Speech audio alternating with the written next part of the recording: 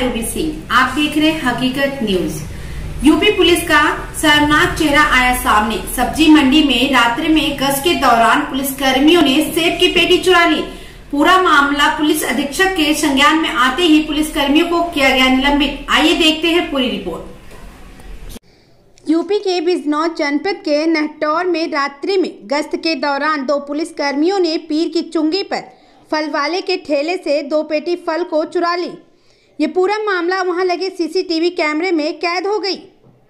ये video social media पर viral हो रही है। जैसे ही ये पूरा मामला उच्च अधिकारियों के सामने आया तो जिस पर एसपी डॉक्टर धर्मवीर सिंह ने मामले को संज्ञान में लेते हुए पुलिसकर्मी को निलंबित कर दिया।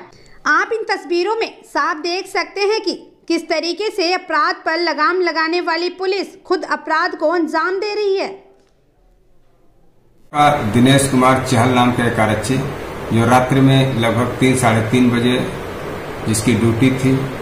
सब्ज़ी मंडी जो कस्बे में ही है, एक पेटी सेव उठाते हुए सीसीटीवी फुटेज में देखा गया है। जाँच पड़ताल किया गया, घटना सही पाई गई। उसको तत्काल प्रभाव से निलंबित कर दिया गया है। क्षेत्राधिकारी को जाँच सौंपी गई है।